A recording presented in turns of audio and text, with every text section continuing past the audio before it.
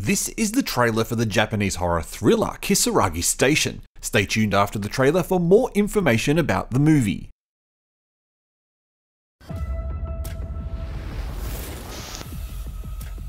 葉山さん聞かせていただけますか2004年の1月8日あなたが異世界に行った話を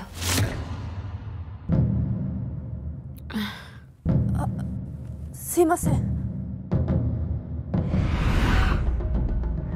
か祭りの音みたいなの。それ。えなななんだよこれ。危ないから線路の上歩いちゃダメだよ。イサ抜きトンネル。大丈夫ですか？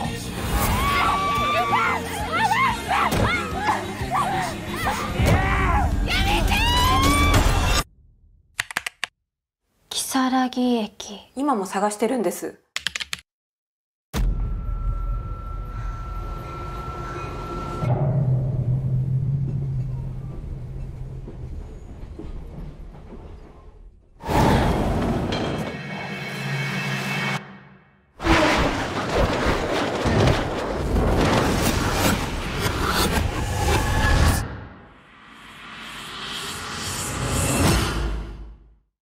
Kisaragi Station is a horror thriller based on the urban legend of the same name, the origins of which date back to 2004 from a private message board where a user told the tale of awakening within a train carriage only to discover that all the other passengers were mysteriously asleep. With no way to contact the conductor or driver, the train continued past all those stops for what seemed to be an hour until it arrived at Kisaragi Station in the middle of the night, a station that doesn't seem to exist and doesn't appear on any maps.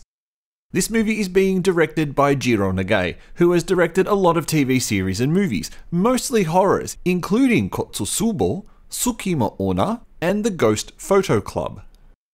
Leading the way is Yuri Tsunematsu, who was in the excellent Before We Vanish from 2017, as well as Signal 100 from 2019, 2020's Wife of a Spy, and the 2021 Naked Director TV series.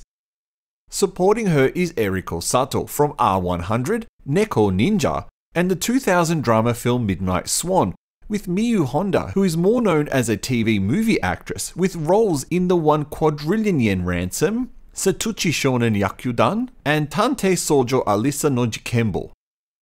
Kisaragi Station is due to release in Japan in cinemas on June 3, 2022. Stay tuned for more trailers and news about upcoming films here on Asian Film Fans. Press like on the video and subscribe to support us. Thank you, and we'll see you next time.